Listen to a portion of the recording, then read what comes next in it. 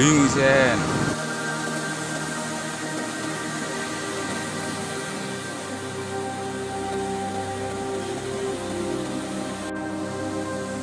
Hiu paus sepanjang 8 meter terdampar di pantai Garongan Panjatan Kabupaten Kulon Progo, Yogyakarta.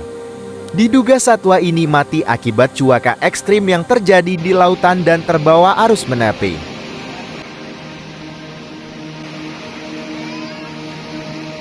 Meski sempat kembali ke lautan lepas pada Rabu malam, hiu paus sepanjang 8 meter ini akhirnya terdampar di pantai Garongan Panjatan Kulon Progo pada Kamis pagi.